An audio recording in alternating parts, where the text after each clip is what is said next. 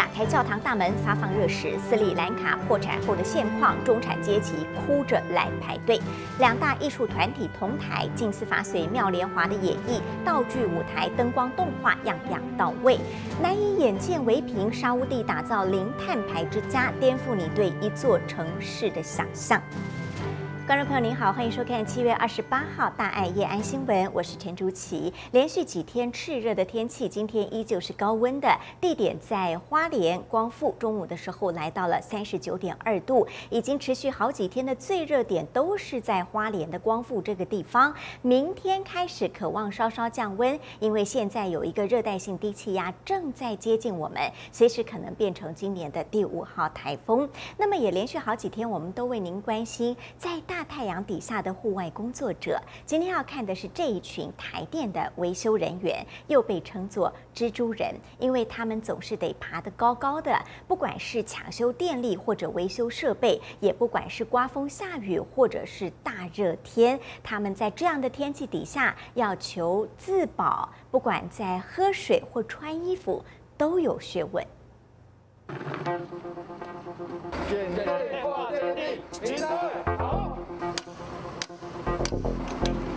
穿戴防护工具，肩套安全手套，然后节能险。意外抢修或平日检修不断电状态下，考验台电作业员临场应变。是火线工作，手部绝对不能张开，要贴紧贴五百户、六百户嘛。一个小时之后，你就开始要注意师傅的反应有没有变慢了，这应该是身体不舒服的因素。主管都会帮忙准备这个电焊梅干。海盐糖果含有盐分、流失的电子才可以补充回来。看我比阿弟丁把卡，生津止渴。有无加薪了，五宝，哎，你这到有地面顶无？身经百战，成为领班不轻松，要紧盯电塔上同仁一举一动。一个同仁他上去，那个螺丝还没收紧，可能一时间忘记了，我就亲眼看着他这样下来，这个手就断掉了。紧张一定是会。如果说你超过十公尺以上，危险都是一样的。下来的话都是粉身碎骨，一定是没有命的了。所以不在意那个高度，是在于自己有没有去注意那个安全。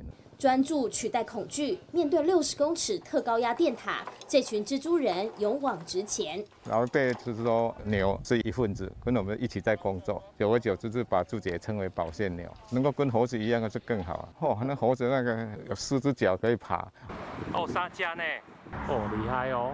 台风加落山风笼罩大半年，临海台湾供电稳定的背后，是这群挥舞血汗的无名英雄。大新闻吴艺轩、陈立伟南部综合报道。那么就在这样炽热的天气底下，中国大陆武汉又有百万人即将要进入为期三天的禁足生活模式，原因是武汉出现了四例的新冠确诊。患者，那么最新一期的美国科学期刊杂志，它已经揭露了。他说，科学家研究发现，二零一九年这个新冠肺炎的病毒已经证实就是来自于武汉的华南海鲜市场。它有两个结论：第一个，除了告诉你病毒来源在这里，而不在任何实验室之外；第二个结论是告诉大家，这一起的世纪的病毒确定就是由动物传播到人的身上。为什么呢？他们找到两个关键证据：武汉。华南市场本来就有活体的动物买卖，像是果子狸或者野兔、狐狸等等，都有人买来吃。再者是说，在这里头的冰柜、手推车或者是笼子关动物的笼子等等，都验到了病毒的阳性反应。因此，学者认为这一起病毒就是源自于这个海鲜市场。We plotted all of the early cases from December of 2019. on a map of Wuhan, we found that whether those cases were associated with the market or not, whether they'd been to the market or not, they really clustered around the market and formed almost a circle around the market. 就在报道发布的同时，武汉又进入了百万人的禁足，为期三天的时间。禁止大型活动，当然不能去餐厅用餐，公共娱乐场所跟市场都得暂时关闭了。这四起的确诊病例，现在还在追踪他们的感染源。好，这一起的菲律宾七点零强震发生到现在进入第二天了，可是余震超过八百次，实在太危险了。菲律宾的总统呼吁民众暂时不要回家。那么这一次的地震是发生在北部的山区，所以搜救工作进行的颇为困难。强震过后，拥有三百多年历史的维甘大教堂外墙斑驳，世界遗产也蒙伤。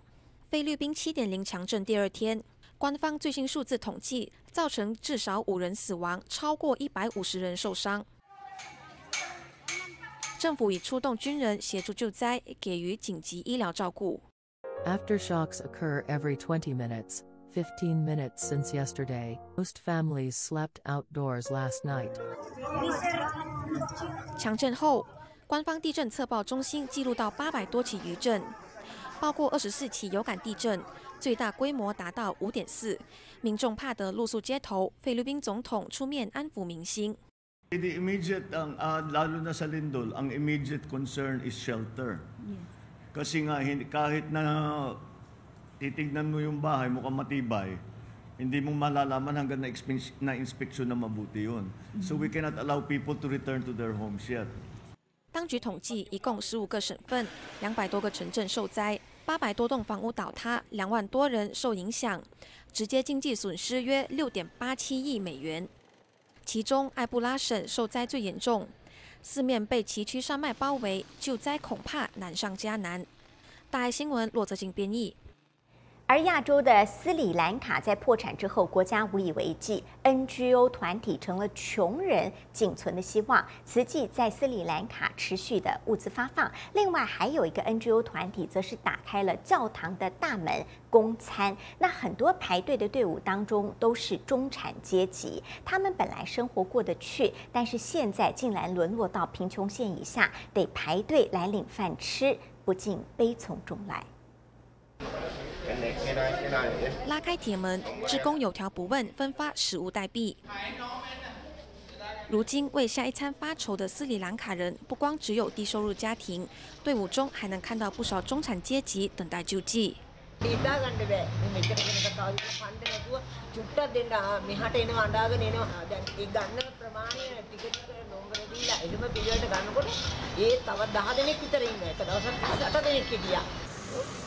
斯里兰卡深陷经济泥潭，老百姓日子过不下去。可伦坡一群志工在十二处教堂设立社区厨房，自六月以来，每天为一千五百人提供素食餐点。即使经费有限，志工依旧兼顾营养均衡，每天为贫困者端出四菜一饭。Matter who you are. If you are hungry, you are in need. So the community kitchen concept is open for anyone who is hungry to come and eat.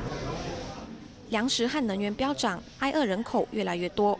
看看数据，原本一公斤大米只要九十卢比，如今价格攀升到两百五十卢比，涨幅逼近三倍。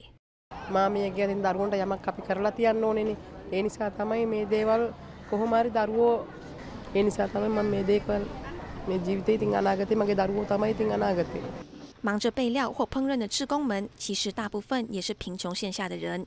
就算要自掏腰包解决交通费，他们依然有怨有利，想要喂饱贫困家庭的决心坚定不移。大爱新闻骆泽晶编译。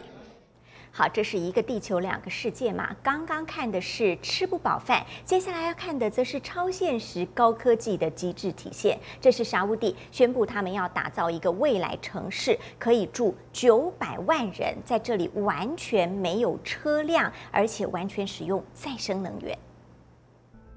For too long, humanity has existed within dysfunctional and polluted cities that ignore nature. Now. a revolution in civilization is taking place. Imagine a traditional city and consolidating its footprint, designing to protect and enhance nature. The line will be home to 9 million residents and will be built with a footprint of just 34 square kilometers. 九百万人的食衣住行在三十四平方公里内解决，是高密度城市的极致或异想天开的科幻脚本。 沙地阿拉伯去年初就宣布要打造一座乌托邦，现在终于试出更多细节，关键字就是三 D 垂直设计。Residents have access to all their daily needs within five-minute walk neighborhoods, and the line's infrastructure makes it possible to travel end to end in 20 minutes with no need for cars, resulting in zero carbon emissions. 颠覆想象的还有都市外观和节能程度。The line is 500 meters tall. 200 meters wide, 170 kilometers long, and housed within an elegant mirror glass facade. Intelligent solutions create efficiency and year round temperate microclimate with natural ventilation. Energy and water supplies are 100% renewable. 事实上，The Line 是沙国斥巨资新建 Neom 新城的一部分，争议原本就不少。For one, the so called virgin land that the government is building Neom on is, unsurprisingly, not all that virgin. It is the ancestral and current home of many people, including members of the Hawatat tribe who are being forced from their homes.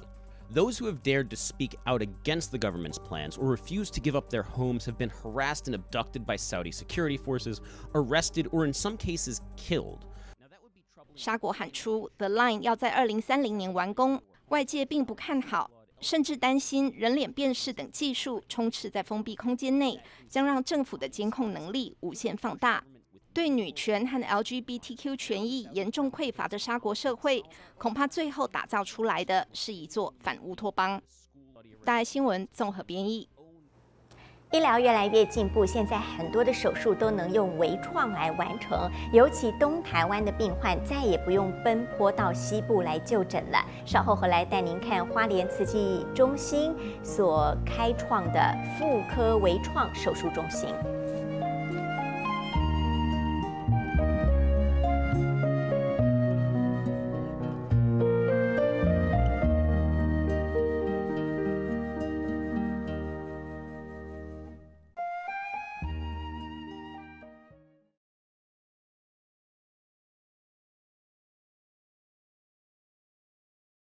新的一个观念就是精准微创。医疗团队善用利器，守护生命健康，精益。救的弟子很多，他很高兴，所以称为佛的欢喜月。所以七月要祝福吉祥。我是竖琴海豹，我的孩子出生十三天就要学习游泳与觅食。但是海冰太薄太碎，他们还没学会就淹死了。那是我怀胎十一个半月的孩子啊！气候难民，下一个会是你我？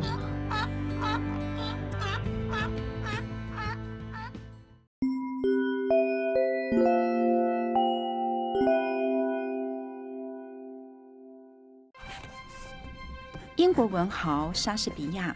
一生写了九个剧本，一百五十四首十四行诗。他说：“书是世界的养分，生活里没有书，如同失去阳光；而没有智慧的书，就好像鸟儿失去了翅膀。”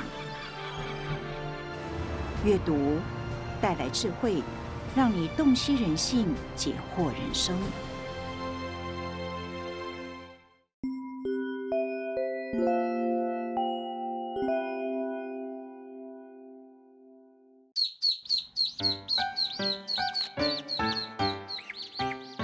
其生，不忍见其死；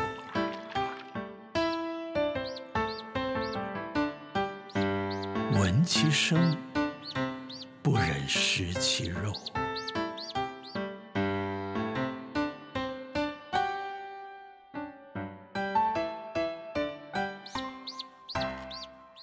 如素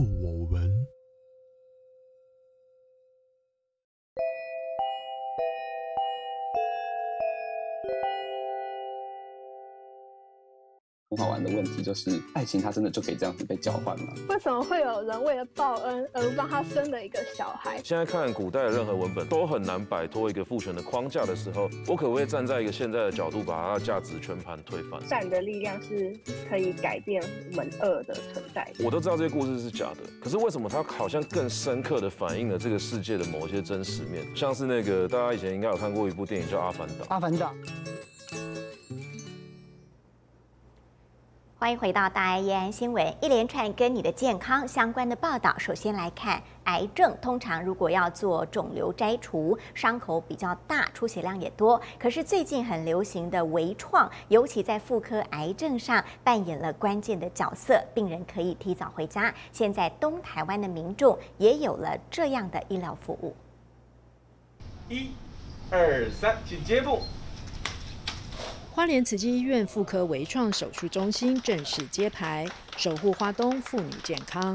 达文西内视镜啊，再加上创新的医材啊，呃，我们相信这里啊，已经是一个呃呃国内一个最重要的啊新医材的一个训练中心哈，呃微创手术的训练中心。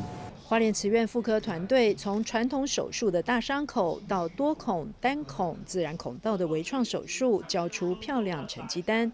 累积单孔腹腔镜突破一千例，机械手臂手术超过一百例。我们现在其实百分之八十的这个我们妇产科的这个刀哈，几乎都是内视镜微创的手术。所以那当癌症的话呢，它在微创手术的执行上呢是又更困难了，所以它必须经过比较长时间、长时间的训练，譬如拿这个淋巴结。到自然孔内视镜手术呢？日前，一位二十一岁卵巢囊肿病人透过微创手术取出约像棒球大小的囊肿，出血量少于五十 CC，术后第二天就出院。进入到自然孔手术的优点呢，包括它的住院天数比较短，然后呢，手术的伤口疼痛度比较低，那止痛药物使用也比较少，那最后它的术后复原是蛮快的。加油！精良的微创手术需要长时间训练，医师们平日多加练习，并定期举办缝合比赛。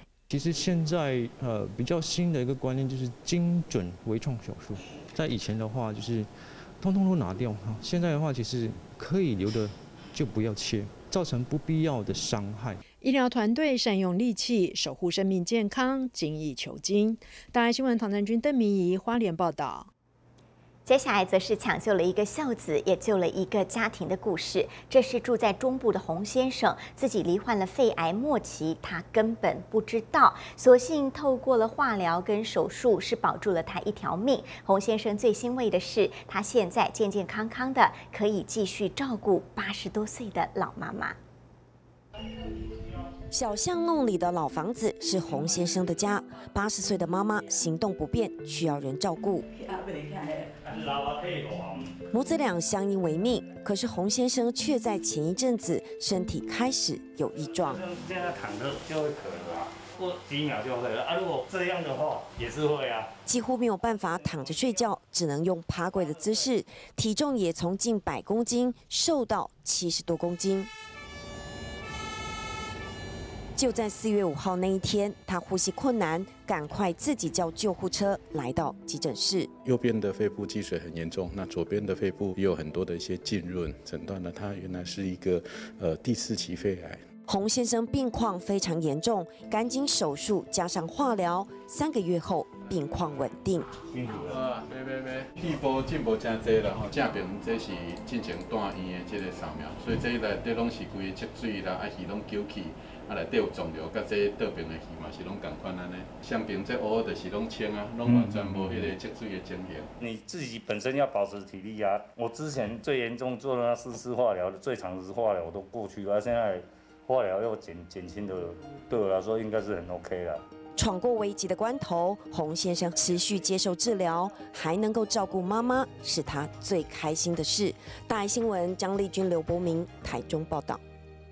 接下来则是把别人的妈妈当成自己的母亲来孝养。台北有九位慈济志工组成了搬家团。原来他们遇到了一位独居长者，住在二楼，可是阿妈行动不方便，所以志工就找到了一间一楼的房子，帮着阿妈搬家，连家具跟生活用品一应俱全，通通包办。师姐感恩哦，感恩哦。那我们走了，我们搬到新家具。八十五岁叶阿妈独居公寓出入不方便，社工找到一楼的新家，职工帮忙搬家，搀扶阿妈入住。阿妈，阿我今仔日就搬来家哦。谢谢慈济帮忙，就是阿妈就是帮搬家啊，整理东西。那有幸慈济能够接受，哈，帮哎就是伸出援手，帮助那些在边缘化的老人。新家一个人住刚刚好，东西如何摆放是学问。丢丢上来给我，这样就比较不会占地方。这有干嘛哦？陪着阿妈走几回，认识新环境。新米城吼，有欢喜不？我摕这凉席，把你厝的困较凉。这一趟搬家对周赖茉莉来说是行善也是行孝。自己的妈妈在年初的时候走了，能够帮忙阿妈，然后我自己也很高兴。阿妈原本住在二楼，爬楼梯每一步都辛苦，九位爱的搬运工完成乔迁任务。没有汤圆，大家用歌声庆祝，希望阿妈在新家住得舒适。大爱新闻真善美职工黄荣辉台北报道。其实想要帮助别人，也是要等待姻缘的。来看这位牙医等了二十年才救人一命的故事。我这边帮你冲个水哦。看诊专业又亲切，蔡医师备受患者信赖。身为仁医会成员，时常前往教养院帮身心障碍者洗牙。这个时候的他，语气更加轻柔。哦，哦，这是只虫虫是大只，医生给伊抓掉。哦，的确是会遇到很多困难，但是我们就是把他们当做是，就是可能比较不懂的小孩，那我们就是尽量希望，就是把他们照顾好。心存善念，早在二十年前，他主动参加验血建档。这段时间以来，曾配对两次没有成功。第三次因缘具足，非常高兴能成为周边血干细胞捐赠者。虽然过程略有不适，仍坚持助人。打完白酒生生长激素，确实会有一些不适的症状，包括骨头酸痛之类的哈。但是借由一些症状治疗，其实大部分的捐者都可以很好的度过这段时间。自从知道确定可以之后，我那个时候是我每天都去跑三千公尺，就是让这个一直可以传递下去，让他知道有能力将来也要帮助别人这样子。蔡医师感谢家人支持、志工陪伴，希望一切圆满，帮助受赠者开启崭新人生。大爱新闻台南嘉义综合报道。这应该是台湾艺术史上的头一遭，结合了两大艺术表演团体，包含了悠人神鼓还有唐美云歌子戏团，他们将同台演绎《法华经》。所以呢，从舞台的道具、灯光、技术各种的演练，通通都不能够马虎。现在正在紧锣密鼓的彩排中。演绎《法华经》的专业演员与技术团队一幕幕彩排，每一个小细节都不放过。那个刚刚那一句“时光隧道”的字给他上来。见证大和尚东渡，然后玄奘法师西行取经，然后鸠摩罗什大师是好，那对，所以这个是用字幕上字幕。对对，然后这向华五浊恶世啊。灯光、道具等都到位，确定位置之后贴上定位点。大家贴一下马克。舞台设计结合音乐、影像、动画，历史画面透过现代科技跨越时空，呈现和谐美感。《法华经》是一个很很深奥，然后非常广泛的一个经典啊。我觉得大家都在做一件美美学的提升。配合演员走位换装，灯光也要适时调整。接下来我就会给铜锣超罗的光，好吧？好，我们先做。那这个中央的我先不加。好，好。为了深入金藏，大家其实已经排练了一年，不厌其烦，反复练习。其实从表演者的身上动作，你每天都可以看到他们脚步放得更慢的，然后演绎的各种姿态啊、动作更到位。那动画也是。对，我觉得大家都在往一个相同的方向在迈进。大爱新闻唐南军中江坡花莲报道。同样是要入京藏演绎，马来西亚则是一群素人，他们是用土法炼钢的方式来学习，但是同样诚心，同样发了大愿。第五声的时候，男女的全体左脚下跪。精准的提醒动作以及位置，资深手语志工陈丽珠在演绎指导上，自己也不断温故知新，先学而后教。我自己是会先画了出来，先跑了，连的名字那些我都会，这个是我早期所画的。东西画好了之后，啊，我就会重看这一些，就是说雪蓉给我们的资料，然后我就会看 YouTube。一直看 YouTube 看他们的动作，然后再去怎么样去研究我们的队形。陈丽珠一有空便会抓紧时间练习，用心了解每句歌词、每个动作的含义。如果我没有了解，我不知道怎样东西是我带动不了。他的把他的时间完全就放在这边，因为我在安排练习时间还是任何线上的时间哈，他都说你安排，我一定配合。他没有说哎我不得空这一天不行，只要我安排的日子，他一定可以上。我几乎每一天呢，我都在写近似语的。二零一八年的时候，一九年、两千年，等到我自己有时有烦恼，我就会随便翻一个来看，来提醒自己，我要知足，感恩过去，展望未来。更重要的是要把握现在。这次能参与入金藏，让陈丽珠更有体悟，也让行走菩萨道的脚步更加坚定。其实我在教的是收获最大是我自己。我最大的感触也是在佛在灵山呐，虽然我没有在演绎里面，但是每一个人都是像我在演绎这样，全身心投入，也期许参与演绎的每一位都走入《法华经》的心灵境界，深入法髓。大爱新闻之善美之功谢念祥、吴永慧，马来西亚报道。这几年，人类非常努力，想要学习与病毒共处。现在率先蜜蜂做到了。稍后回来，我们要带您看台湾土生土长的蜜蜂，一度濒临灭绝，现在族群繁衍，生生不息。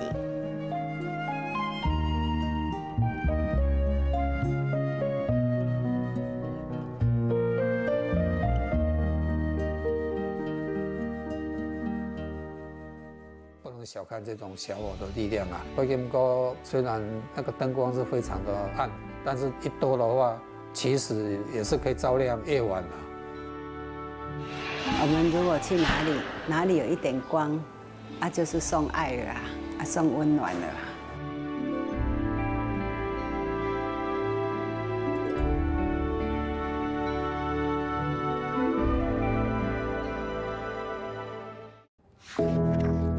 本书都是座楼，让文字齐居如诗。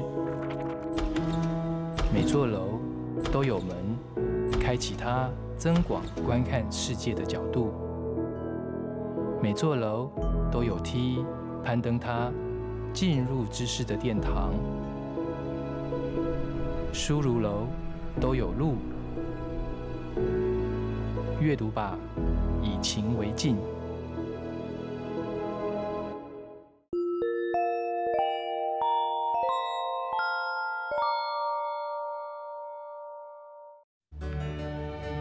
一九八七年，威尼斯被联合国列为世界文化遗产。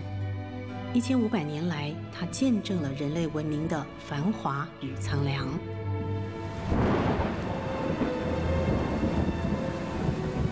如果我们无法阻挡气候变迁，等到二零三零年，就只能潜水旅游威尼斯。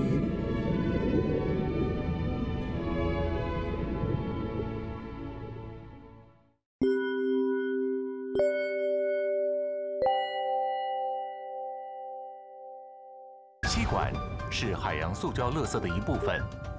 台湾一年用掉三十亿根塑胶吸管。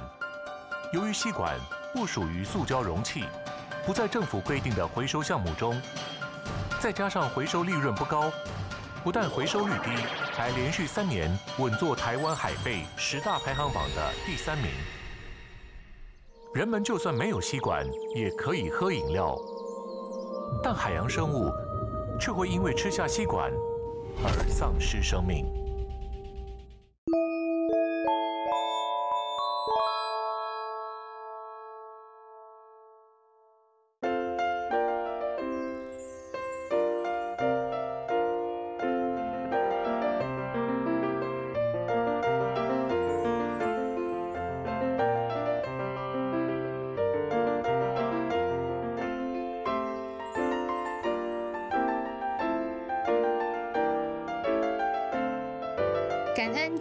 联合会计师事务所与大爱电视一同播善种，启智慧。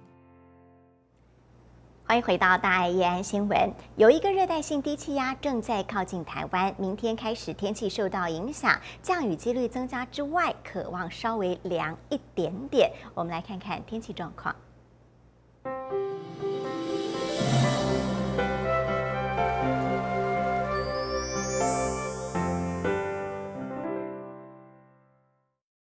最高气温是发生在花莲富源的三十九点二度，另外宜花东附近这一带普遍也有三十六度以上高温发生。目前这个热带性低气压呢，它是往比较偏西北的方向来行进。那未来呢，在明天的时候，呃，我们可以看到它未来是有发展为轻度台风的趋势，然后呢，逐渐往东海的方向来移动。所以呢，对我们台湾并没有直接的影响。不过呢，在它的这个西南侧呢，就是比较靠琉球东南方海面这一带有一个低气压。这个低气压呢，未来也有可能会呃进而发展为热带性低气压。所以未来对于这个低气压啊，我们也要稍微留意一下。今天晚上普遍来讲的话是比较没有什么雨。不过在呃西南部沿海附近这一带的区域呢。可能在清晨的时候会有呃零星的短暂阵雨出现。那到明天白天的时候，在中午过后，在北部以及东北部跟东部地区，呃可能会有午后那个雷阵雨发生。那此外就是山区的地方，午后雷阵雨可能会比较明显一点。周日之前，呃由于受到低压带逐渐接近的影响，台湾附近的天气会开始变变得比较不稳定。那尤其是北部、东北部跟东部地区降雨是呃属于比较不定时的。那西南部地区、中南部地区在清晨呃可能也有局部的短暂阵雨出现。那到了一号之后呢，随着这个台湾东南侧的低压逐渐的接近，那那个低压呢未来也有发展为呃热带性低气压甚至轻度台风的机会。那从一号一直到三号甚至四号。都是受到低压带的影响，所以台湾附近各地都可能会有呃阵雨或雷雨，而且会有局部较大雨势发生的几率。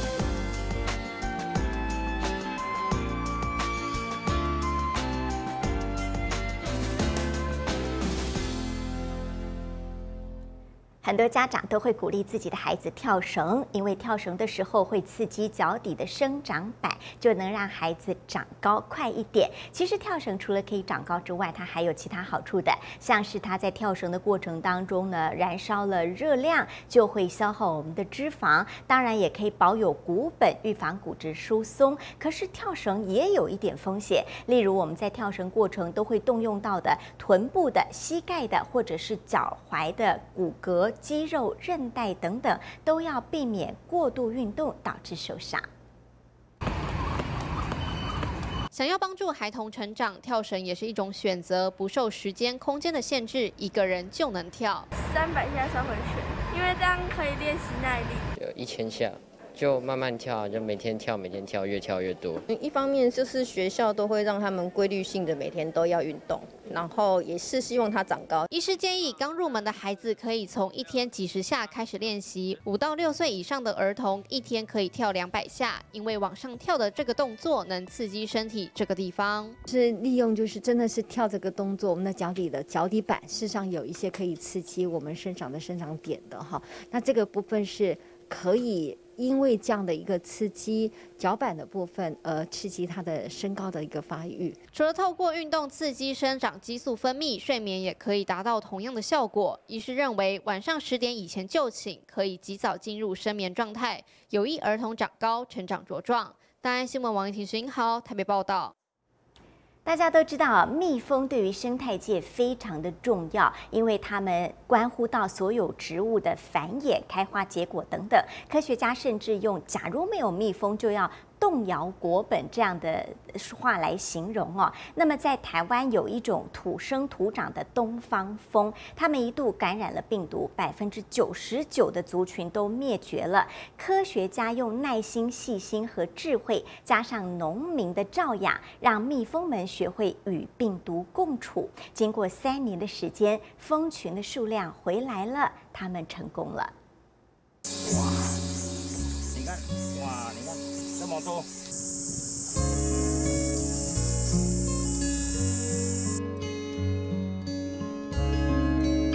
你看它这一片哦，大概是五斤。在这个囊中虫病进来之后，已经大概三年左右的时间没有出现这种光景。照片上簇拥的蜂群，让蜂农与研究团队绽放了久违的笑容。还有你看这个，它这个准备起王台。是要服役女王蜂的。成功富裕的蜂群是本土东方蜂，俗称台湾野蜂。五年前，东方蜂受中囊病毒袭击，疫情扩及全台。染病土蜂在蜂群间交互感染，病毒让幼虫无法成蛹，蜂群接续死亡。你看这边这个洞哈，它已经有蜜蜂的眼睛出现。如果是生病的蜜蜂，它是没有办法。进入到这一个阶段。哦，通常一个正常的巢片，这个外圈你看这边是它的食物。哦，这边这个封盖封起来的，这个叫蜜盖，哦，所以这里面都是蜂蜜，然后这边有点橘橘黄黄的哈，这边都是它花粉，然后内圈这里面都是它的幼虫哦，它们在生病的那个时候哈，因为没有这么多的蜂可以去照顾它们的巢，所以那个时候卵呢就下得乱七八糟。染病的土蜂自乱阵脚，也让台湾生态蒙上一层隐忧。如果东方蜂消失的话，那真的是动摇国本。因为这个东方蜂，它是本土植物的一个最重要的授粉的这个蜜蜂。譬如说，我们中央山脉地区，今天如果东方蜂消失的话，那那个地方的植物怎么办？面对中囊病毒的风暴，养蜂界也不知所措。这样，哦，这水。有两派的说法，一种是我们要赶快赶快给他施药，赶快把这个东方蜂救起来。那我那时候是反对的。常年投入蜜蜂研究的团队主张不投药，让蜂群与病毒共存。认同的蜂农也只对染病蜂群采取隔离策略。它这这一箱，它有带原则，那我们这一箱全部要带走。中囊病疫情在蔓延初期，东方蜂几乎濒临灭绝。一开始蜜蜂不适应它的时候呢，它是有很大的一些冲击，当时大概消失了百分之九十九。但是别忘了，我们还有那百分之一，那就是抗病的种类。为了扩大百分之一的抗病蜂群，蜂农遵循古法，到野外挖洞又捕野蜂。在在在这里，这个野蜂它也会进驻。我们看它来的时候，它已经族群壮大的时候，我们再用箱子把它装起来。然后带回自己的蜂场管理饲养。我们要学着跟病毒共存。我们的中囊病也是一样。到现在，我们是持续在这个地方做监测的结果，发现到病毒的量已经降到很低了，表示我们的蜜蜂已经找到对应它的方法。台湾土蜂历经三年，学会了如何与病毒共存，印证了生命终会找到自己的出路。它带来蜜给我们吃，我们也要照顾它。养蜂也一样，跟人类一样，你要跟它和平共处。对峙气候变迁或者是生态的危机，都需要智慧和科学。接下来，我们带您到加萨走廊，很多的巴勒斯坦人住在这里，这是世界上人口密度最高的区域之一。人们没地方住，就一直往海滩去侵占了海滩的土地，来当做自己的家。可是这几年海水上升，让他们感受到危机，就怕有一天家园被淹没。他们竟然想出了非常离谱的办法，那就是。把大量的废弃物、垃圾，甚至是大型的家电往海里头丢，希望能够形成另类的消破块。沿岸堆满一块块废水泥块，甚至还有轮胎。住在加萨走廊海边的难民，生活逐渐受到威胁。 الناس من سنة أو سنتين أو حتى من خمس سنين بتحاول بتحمي نفسها بأي وسيلة بتجيب ثلاجات بتجيب عجال ممكن تحط زلط حجار على أساس إنه تحمي نفسها من الموج 身为全球人口密度最高的地区之一，加萨走廊平均每平方公里就要容纳六千一百三十三人，比起人口大国印度每平方公里四百三十一人，显然加萨的生存空间更狭小，更让人窒息。其中有九万人住在岸边的难民营， 而这也是在邻国以色列和埃及长期封锁之下，较能逃离陆地管控、好好放松的地方。但他们的生存空间如今快被大海抢走。 لقد بدأ من العام الماضي تأثير المناخ على ارتفاع الأمواج بشكل بشكل كبير جدا وصل إلى حوالي 6 متر ارتفاع هذه الأمواج تم تآكل كل حواف الطريق بشكل كبير جدا 尽管当局有拿去年战争中毁坏的房屋瓦砾挡在岸边，难民担心这样恐怕挡不住冬天的暴风雨，呼吁国际捐款1.5亿美元，让他们放消波块并建立堤防。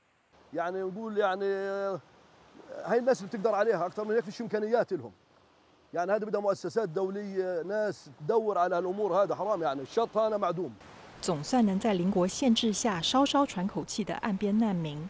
却在大自然的胁迫下对世界发出紧急求救讯号。大爱新闻陈彦荣编译。以上就是今天的大爱夜安新闻，感恩您的收看。稍后请您继续收看《人间菩提》，祝福您平安顺心。我们明天见。